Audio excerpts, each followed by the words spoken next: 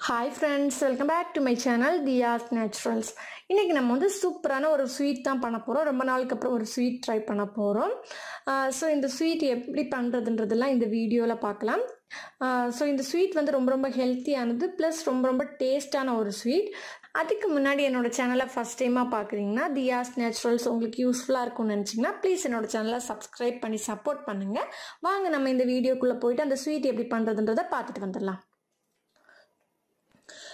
So friends இந்த sweet பண்ணுறதுக்காக நான் வந்து பச்சைப்பருப்பு எடுத்திருக்கேன். பச்சைப்பருப்பு வந்து ஒரு கப் அளவுக்கு எடுத்திருக்கேன் நான். ஸோ அதை நல்லா நம்ம வந்து வறுத்து எடுத்துக்கலாம். அதாவது ட்ரை ரோஸ்ட் பண்ணணும். இதை நல்லா வறுத்ததுக்கப்புறமா அது ஆறுனதுக்கப்புறமா பவுடர் பண்ணி எடுத்துக்கணும். ஸோ நல்ல ஃப்ளேவர் வர வரைக்கும் வறுத்துக்கலாம். ரொம்ப தீர மாதிரி பண்ணிக்காதீங்க. கொஞ்சம் ஃப்ளேவர் வந்ததுமே ஃப்ளேம் ஆஃப் பண்ணிவிட்டு நல்லா பவுடர் பண்ணி எடுத்துக்கோங்க. ஸோ நெக்ஸ்ட்டு வந்து பவுடர் பண்ணதுக்கப்புறமா ஒரு கடாயில் வந்து ஒரு மூணு ஸ்பூன் அளவுக்கு நம்ம வந்து கீ சேர்த்துக்கலாம். ஸோ கீ நல்லா மெல்ட் ஆகட்டும். ஸோ மெல்ட் ஆனதும் அந்த பவுடர் பண்ணி வச்சுருக்கிற பச்சை பருப்பு இருக்கு இல்லையா அதை நல்லா இதில் சேர்த்துட்டு வறுத்துக்கலாம். ஸோ அந்த அந்த கீயில் நல்லா மிக்ஸ் ஆகிற மாதிரி எல்லா இடமும் மிக்ஸ் ஆகிற மாதிரி வறுத்துக்கலாம் இதை. ஸோ நமக்கு வந்து அவ்வளோ ஃப்ளேவர் வருது. நல்லா அந்த கீயோட சேரும்போது நல்ல ஒரு ஃப்ளேவர் வருது. ஸோ இப்போ இது வந்து நல்லா வறுத்தாச்சு. நல்லா மிக்ஸ் ஆகிடுச்சு அந்த கீயில் எல்லாத்துலேயுமே கீ எல்லாத்துலேயுமே மேக்ஸிமம் மிக்ஸ் ஆகிடுச்சு ஸோ இந்த டைமில் நம்ம வந்து கொஞ்சமாக பால் கோவா சேர்த்துக்கலாம். நான் நார்மலாக கடையில் பேக்கரியில் வாங்கின பால் கோவா தான். ஸோ பால் பால் கோவா நம்ம அதில் வந்து சேர்த்துக்கலாம். நல்லா கொஞ்சம் கொஞ்சமாக அப்படியே பிச்சு பிச்சு போட்டுட்டு நல்லா மிக்ஸ் பண்ணிக்கலாம். ஏன் இந்த பால் கோவா சேர்க்குறோன்னா இந்த பால் கோவா சேர்க்கும்போது நமக்கு வந்து ஃப்ளேவர் நல்லாயிருக்கும் இந்த ஸ்வீட்டுக்கு இந்த பால் கோவா சேர்க்கும்போது நல்ல ஒரு ஃப்ளேவர் இருக்கும். இன்கேஸ் உங்களுக்கு பால் கோவா கிடைக்கலனா நீங்கள் இதை ஸ்கிப் பண்ணிக்கலாம். பட் பால் கோவா சேர்க்கும்போது நமக்கு வந்து டேஸ்ட் ரொம்ப ரொம்ப நல்லாயிருக்கும் அதுக்காக தான் நான் சேர்த்துருக்கேன் நான். சேர்த்துட்டு நல்லா மிக்ஸ் பண்ணிக்கலாம் நம்ம வந்து. ஸோ பாருங்கள் அந்த பால் எல்லாம் நல்லா அந்த மாவு கூட மிக்ஸ் ஆகிடணும் மிக்ஸ் ஆகிற வரைக்கும் நம்ம வந்து கிளறிக்கிட்டே இருக்கலாம். ஸோ நல்லா நம்ம வந்து மிக்ஸ் பண்ணிட்டோம். அந்த கோவா கூட நல்லா மிக்ஸ் பண்ணிட்டோம். இந்த கோவா வந்து ஸ்வீட் இருக்கிறதுன்றதுனால கம்மியாக நான் வந்து சர்க்கரை சேர்த்துக்கிறேன் பாருங்கள் ஒரு மூணு ஸ்பூன் அளவுக்கு தான் நான் சேர்த்துருக்கேன்.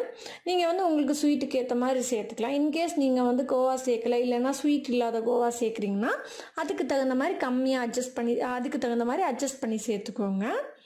சேர்த்துட்டு நல்லா வறுத்துக்கலாம். ஸோ வறுத்ததுக்கப்புறமா நான் வந்து ஒரு மூணு ஏலக்காய் தட்டி அதில் சேர்த்துக்கிறேன். ஸோ ஏலக்காய் வந்து நமக்கு வந்து ஃப்ளேவருக்காக சேர்க்குறோம்.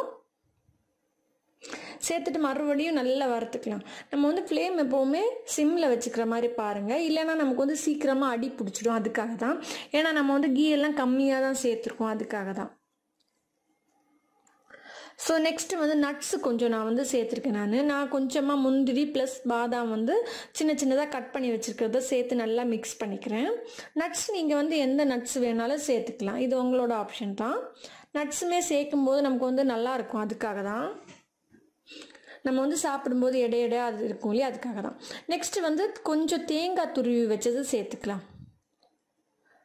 நல்ல நம்ம வந்து தேங்காவை நல்லா துருவி சேர்த்துக்கணும். துருவி சேர்க்கும்போது தான் இதுக்கு டேஸ்ட் தேங்காவை சேர்த்துட்டு நல்லா வறுத்துக்கலாம். நல்லா வந்து மிக்ஸ் பண்ணிக்கலாம்.